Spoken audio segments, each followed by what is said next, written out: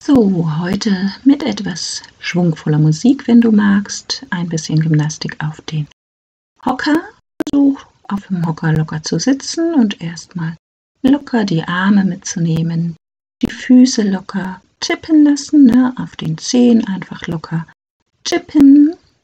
Und du kannst dann auch die Fersen locker vorschieben, lass auch den Rest des Körpers schön locker. Du kannst meinen Musikvorschlag folgen oder suchst dir selbst etwas rhythmische Musik raus und dann versuch einmal Ferse spitze, Ferse spitze, ganz locker. Ne, das macht die, mobilisiert deine Sprunggelenke, mobilisiert auch die Knie und ist schön locker, flockig am Anfang, um reinzukommen, anzukommen, warm zu werden. Etwas Hockergymnastik für alle, die nicht auf die Matte gehen können oder auch vielleicht nicht auf die Matte gehen wollen, weil sie vielleicht im Garten ein bisschen arbeiten wollen oder wo auch immer. Und dann versuch auch deine Schultern einmal zu heben, zu senken, die Schultern rauf und tief zu nehmen, dass auch der Bereich des Schultergürtels gelockert wird, mobilisiert wird,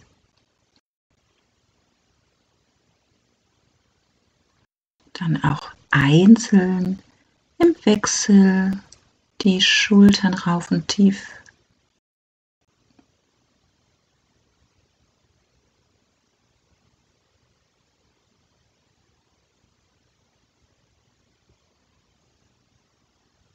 Versuch die Schultern dann auch schön bewusst zu kreisen im Wechsel. Schön locker die Schultern kreisen lassen.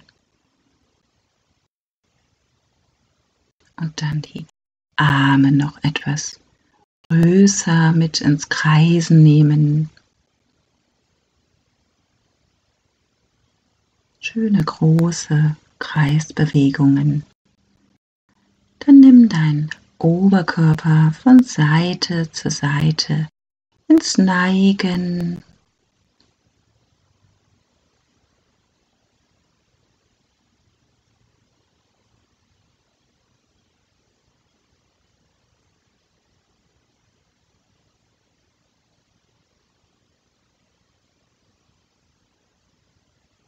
Und versuch den Oberkörper locker dann auch von Seite zu Seite drehen. Ganz lockere Bewegung mit kleinem Nachfedern für die Faszien, den Oberkörper von Seite zu Seite locker drehen.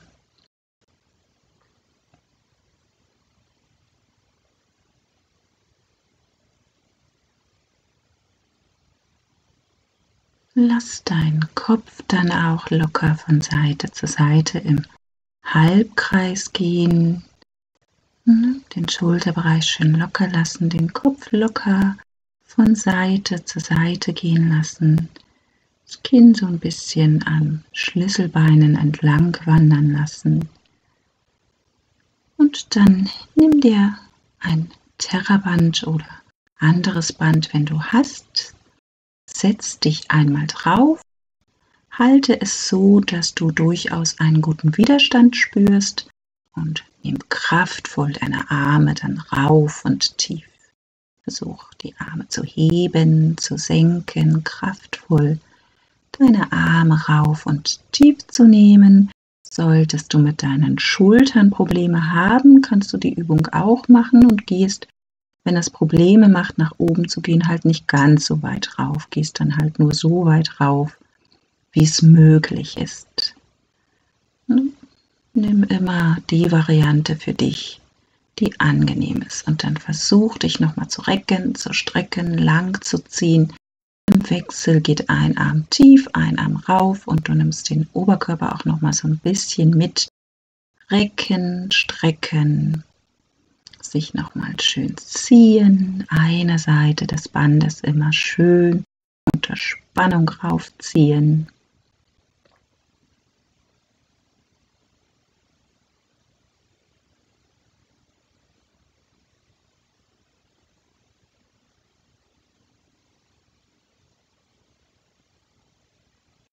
Nimm dir das Band dann einmal vor und versuch in Vorhalte die Arme zu öffnen, zu schließen, die Arme zur Seite in Schulterhöhe öffnen und wieder nach vorn, so dass vorn das Band natürlich unter Spannung bleibt.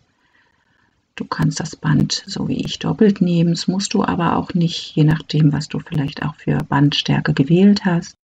Fass es immer so, dass es unter Spannung ist und dann zieh schön nach hinten auch die Schulterblätter zusammen.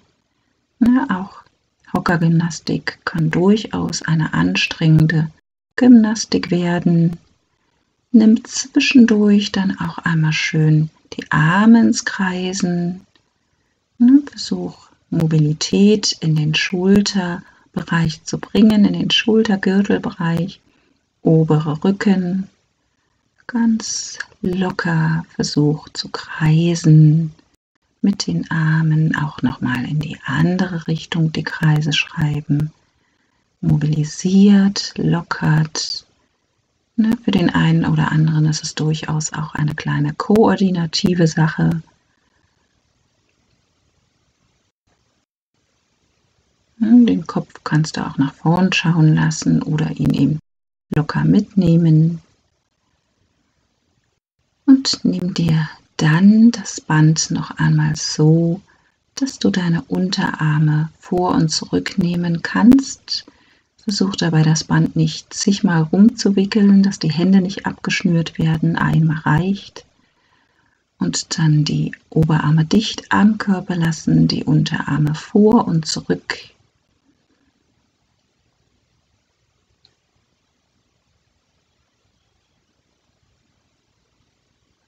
Auch hier das Band immer so nehmen, dass du für dich selbst einen annehmbaren Widerstand spürst.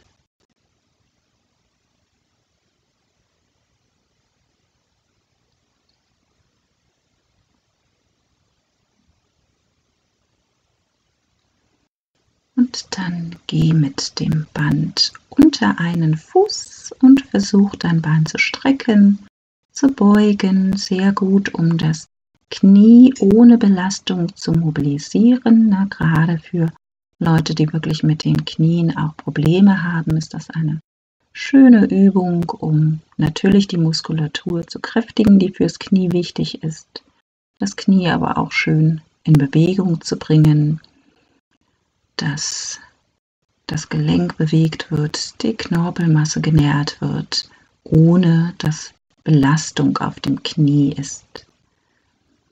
Einfach vor und zurück, die Arme halt schön dicht am Körper und dann das Ganze auch einmal so, dass du den Fuß ins Beugen und Strecken nimmst, wenn du dein Bein lang gestreckt hast.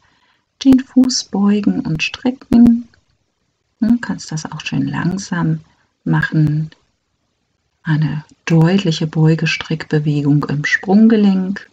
Das Bein schön oben halten, mobilisiert in dem Fall dein Sprunggelenk, ist aber auch gleich eine Kraftübung, weil du dein Bein ja doch gegen die Schwerkraft oben hältst. Trainiert also auch das Hüftgelenk mit in dem Fall. Und dann versuche nochmal den Unterschenkel zu beugen, zu strecken. Diesmal aber so, dass dein Fuß und dein Knie etwas nach außen zeigen, auch nochmal eine ganz wichtige Übung, vor allen Dingen für dein Kniegelenk, weil die meisten mit dem Knie eher nach innen gerichtet sind, die äußere Muskulatur etwas vernachlässigt ist. Schau, dass du wirklich das Knie schön nach außen gedreht hast, wenn es dir möglich ist, den Fuß nach außen gedreht Knie und Zehen sollten, wenn du das Bein streckst, an einer Linie sein. Und dann versuche das Bein lang gestreckt auch nochmal zu haben und dieses lang gestreckte Bein nochmal zu heben, zu senken. Dann haben wir wieder eher die Hüfte im Programm. Wenn es dir zu schnell geht, dann stopp zwischendurch vielleicht das Video. Ich versuche viele Übungen zu zeigen und versuche auch immer zu wechseln, dass nicht zu lange Belastung auf einem Muskel oder auf einem Gelenk ist, ne, weil ja doch alle, die so vor dem Video sitzen, sehr unterschiedlich von ihrem Fitnesszustand sind. Versuche es auf dich einfach anzupassen. Das Bein dann einmal wechseln. Erstmal mit der Übung beginnen, bei dem du einfach nach vorn praktisch so einen kleinen Kick machst, also den Unterschenkel ins Beugen und Strecken nimmst, Oberschenkel parallel zum Boden hältst, ne? ähm, durch das Band ein bisschen unterstützt. Es geht natürlich auch alles ohne Band, aber es ist auch mit Band völlig in Ordnung. Vor allen Dingen, wenn man irgendwelche Probleme mit Hüfte oder Knie hat. Lass das Bein dann wieder schön gestreckt, Bein parallel zum Boden und versuch deinen Fuß wieder bewusst im Sprunggelenk zu beugen und zu strecken, das Bein schön lang zu lassen. Du mobilisierst in dem Moment dein Sprunggelenk, trainierst natürlich auch dadurch die Wadenmuskulatur und durch das gerade Halten des Beines wird natürlich auch die Hüftmuskulatur trainiert, weil diese das Bein natürlich auch oben hält. Mit kleiner Unterstützung durch das Band. Und dann nimm nochmal für die äußere Muskulatur dein Oberschenkel schön eingedreht. Strecke und beuge nochmal. Knie sollte so nach außen zeigen wie die Zehen. Ne? Knie und Zehen immer in einer Linie. Schön das gesamte Bein schön nach außen gedreht. Ne? Aus der Knieschule eine wichtige Übung. Immer natürlich auch schauen, dass dein Oberkörper schön aufrecht bleibt. Du deine Schultern wieder hochziehst, noch hängen lässt, Bauchnabel schön zur Wirbelsäule gezogen lässt. Und versuche dann kraftvoll auch nochmal dein langes Bein zu heben, zu senken. Schau, dass du nicht in Versuchung kommst, zu sehr zu helfen mit dem Band oder zu sehr in Schwung zu gehen. Bleib bei geführten Bewegungen, führe dein Bein.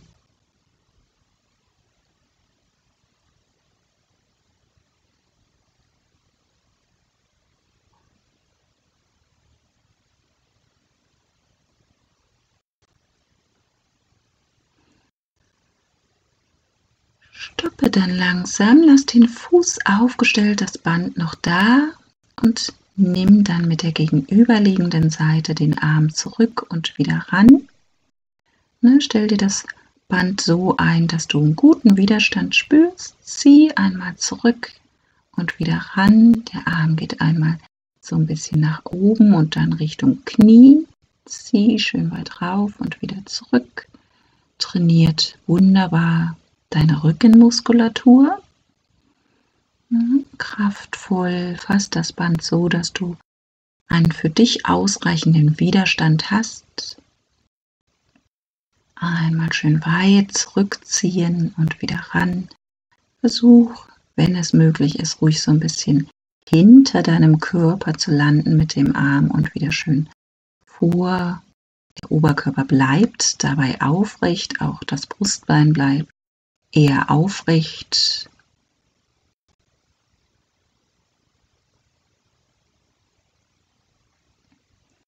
Und dann wechsel auch einmal zur anderen Seite, also dass du das Band mit dem anderen Fuß hältst und auch hier den Arm wieder schön weit zurück versuchst zu führen und vor.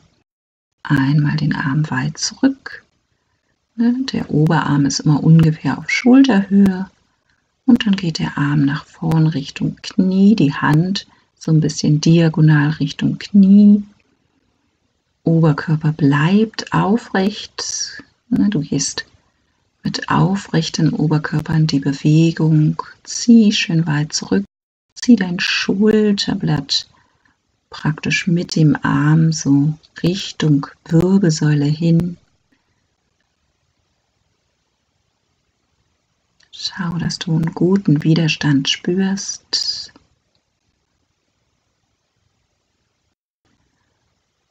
Und dann nimm das Band einmal um beide Füße, die Fersen aufgestellt, Knie sind natürlich gebeugt und zieh beide Arme dicht am Körper zurück.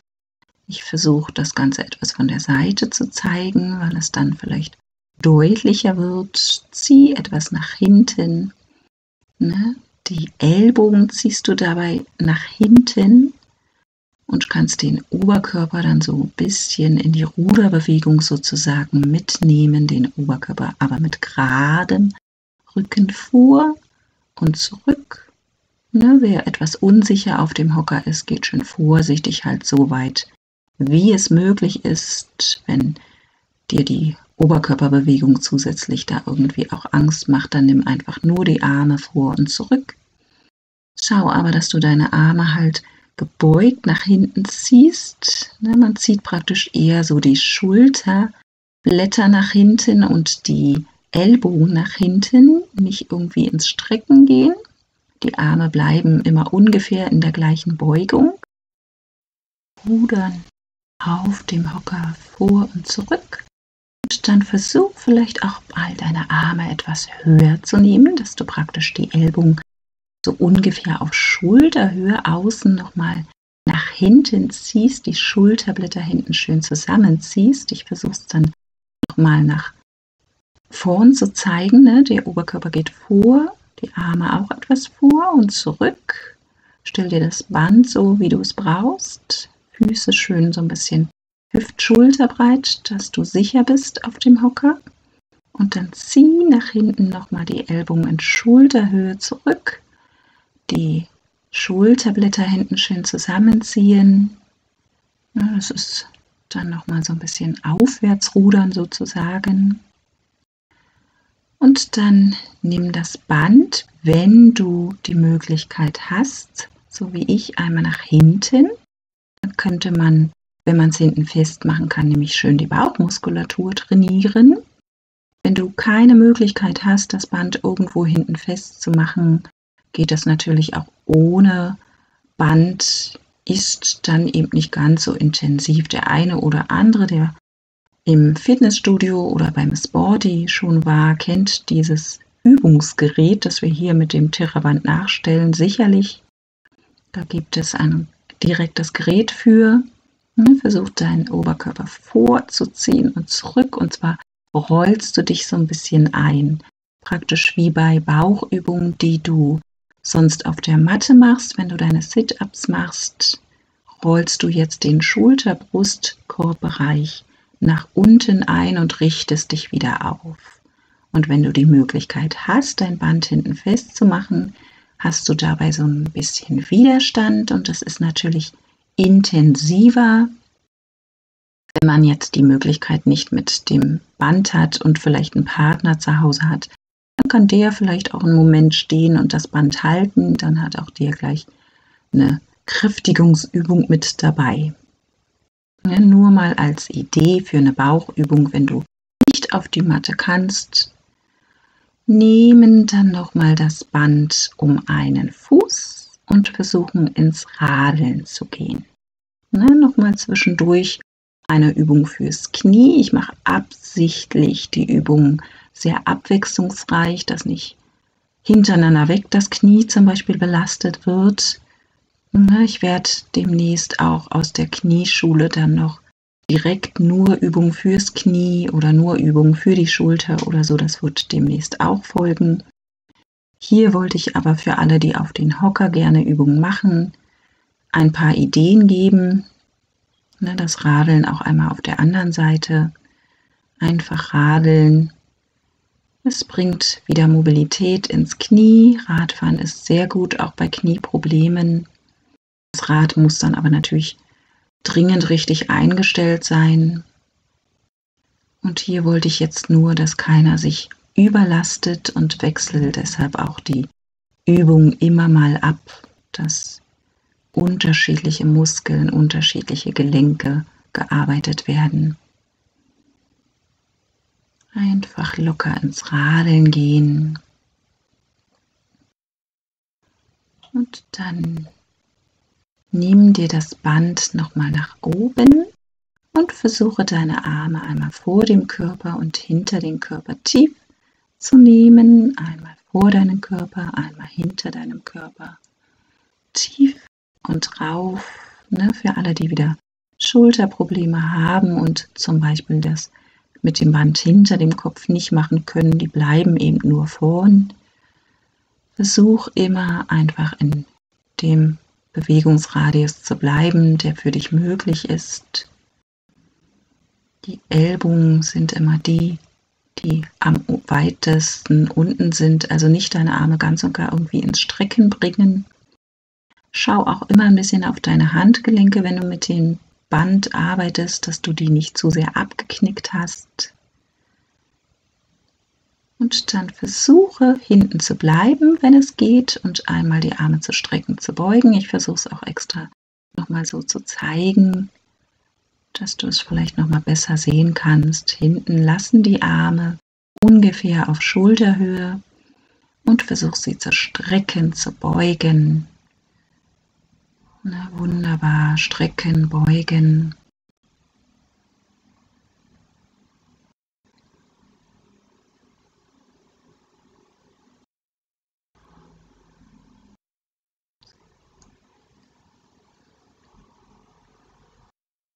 Versuche dann einen Arm nach oben, einen nach unten zu nehmen. Versuche es auch immer noch mal von hinten zu zeigen und versuch beide Arme einfach zu strecken, zu beugen. Training für den Armstrecker. Einfach beide Arme strecken, beugen die Ellbogen dicht am Körper und dann versuch zu strecken, zu beugen. Das Band kannst du einzeln oder doppelt haben. Versuch hinten auch nochmal die Arme schön lang zu haben und nochmal schön nach außen zu ziehen. Deine Hände zeigen die Handflächen so ein bisschen nach innen. Und dann ziehst du nochmal nach außen. Eine ganz wichtige obere Rückenmuskulatur für die Aufrechthaltung des oberen Rückenbereichs, der bei uns oder bei den meisten immer so ein bisschen nach vorn auch fällt, weil diese Muskulatur leider sehr vernachlässigt wird im Alltag und die andere Seite dann für den Armstrecker, einfach, dass der andere Arm nochmal oben ist. Ne? Man streckt und beugt ja beide Arme. In beiden Armen wird auch der Armstrecker gearbeitet, der obere aber aufgrund der Haltung noch etwas intensiver, weil der gleichzeitig natürlich dann auch nochmal schön gegen die Schwerkraft, nicht nur gegen die Kraft des Bandes arbeitet. Das wirst du sicherlich auch spüren. Die Schultern lass schön locker, den Bauch schön fest, Brustbein strahlt schön nach vorn, du sitzt immer schön aufrecht. Dann versuch einfach das Band um den Rippenbereich hinten zu haben und nach vorn locker zu boxen. Ne, dass nach den ganzen Kräftigungsübungen du einfach einmal locker boxt. Durch das Band ist zwar auch noch mal etwas Kräftigung dabei, aber box ruhig erstmal schön locker. Die Arme dann noch mal wie beim Schwimmen, wie beim Brustschwimmen versuchen zu bewegen, kraftvoll mit dem Band unter Spannung nach vorn ziehen und dann kreisend nach hinten gehen. Schön aufrecht sitzen, ja, auch dein Brustbein ist schön, strahlt schön gerade nach vorn, Bauch schön fest. Und dann versuch nochmal kraftvolle kreisende Bewegungen.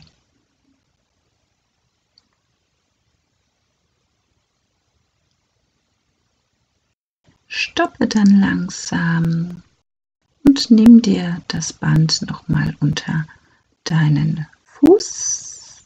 Na, ruhig einzeln erstmal probieren.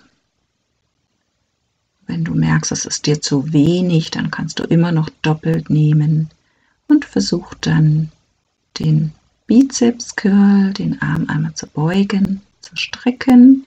Ne? Wie gesagt, kannst dann auch beide Bänder nehmen in die Hand, falls du merkst, einzeln ist doch zu wenig. Es kommt immer ja auch ein bisschen drauf an, welche Farbe Band du hast. Ne? Wenn du das Original Terraband hast, ist Gelb leicht, Rot mittel und Grün stark. Und dann wird es mit Blau noch mal schwieriger. Versuch den langen Arm dann fürs Schultertraining auch etwas zur Seite gehen zu lassen. Da reicht meistens wirklich ein Band, außer natürlich, wenn du merkst, nee, reicht mir nicht, nimm ruhig beide. Versuch nach außen den langen Arm zu heben, zu senken. Und das Ganze dann auch einmal auf der anderen Seite erst nochmal Bizeps Curl. Ne, entscheide, ob ein oder beide Bänder in der Hand sind. Ne, schau auch, dass das Band so ist, dass es dich nicht irgendwie behindert. Und dann rauf und tief. Oberkörper bleibt weiterhin immer schön aufrecht. Ne, die Füße etwas weiter aufgestellt bringt auch viel Stabilität nochmal in den Sitz und auch hier nochmal kraftvoll versuchen, den Arm zu heben, zu senken. Bei Kräftigungsübungen lässt man den Ellbogen immer ganz leicht gebeugt, ja, nicht nie ganz durchgestreckt. Beim Dehnen ja, beim Kräftigen immer ganz leicht gebeugt lassen. Dein Ellbogengelenk und dann schau, dass die Bewegung schön aus der Schulter stattfindet. Schultergelenk wird muskulär geführt. Nimm das Band dann zur Seite und nimm dir den Arm schön rüber in den sogenannten Vorschulelefanten. Schau, dass deine Schulter aber nicht raufgeht. Ne? Lass die dehnende Schulter auch nicht raufgehen. Und dann auch einmal auf der anderen Seite.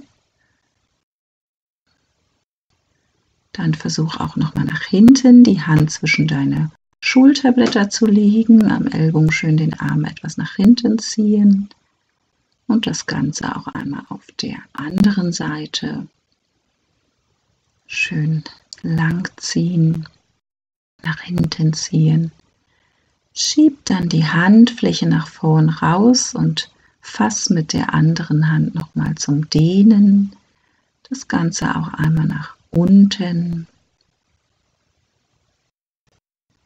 und auch auf der anderen Seite einmal die Handfläche nach vorn, zieh sie dann mit der anderen Hand zurück und auch nochmal nach unten und dann versuch nochmal nach hinten den Arm seitlich so ein bisschen rüber zu ziehen und den Kopf in die Gegenrichtung zu nehmen. Ne? Dann wird nochmal Nacken-Schulterbereich schön gezogen. Auch auf der anderen Seite den Kopf in die Gegenrichtung, den Arm seitlich so ein bisschen nach hinten rüberziehen. Ich versuche es nochmal zu zeigen. Und dann schieb beide Arme nochmal schön nach hinten, die Finger ineinander, nimm den Oberkörper dann nach vorn und lass die Arme auch nochmal schön weit mit rüberhängen, Kopf schön locker hängen lassen. Komm langsam wieder rauf, löse, schieb dich nochmal schön nach vorn, mach deinen Rücken so rund wie möglich, zieh die Schultern vor, schieb dich auch nochmal schön nach oben raus, die Handflächen Richtung Decke, öffne nochmal und lass dich langsam nochmal nach vorn fallen, den Oberkörper nochmal schön locker hängen lassen. Kopf, Nacken nochmal schön locker hängen lassen. Komm dann langsam rauf. Stelle einen Fuß vorn auf, schieb den geraden Rücken nochmal so weit vor, dass du im langen Bein eine Dehnung spürst. Oberkörper schön gerade, Becken etwas nach vorn geschoben.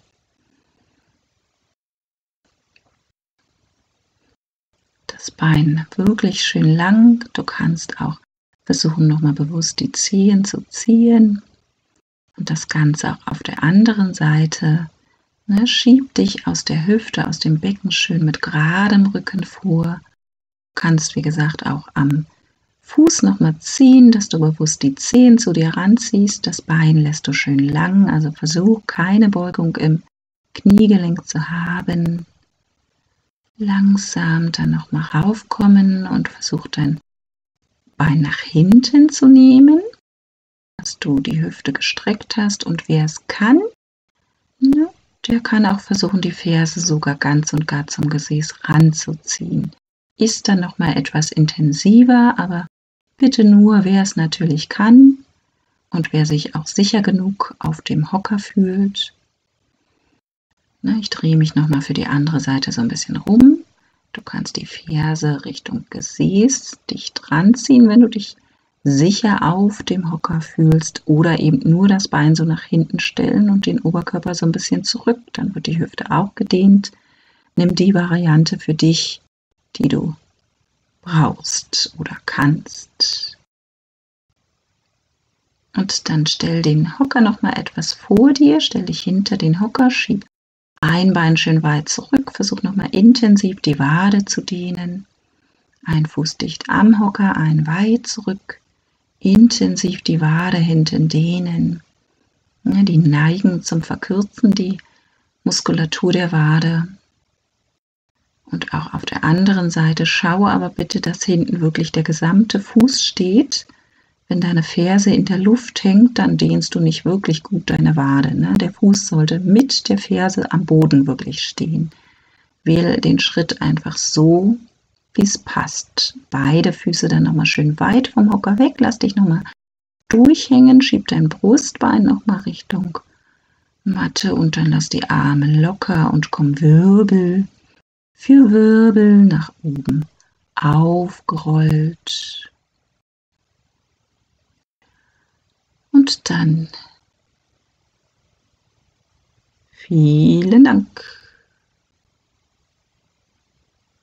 Tschüss, bis bald.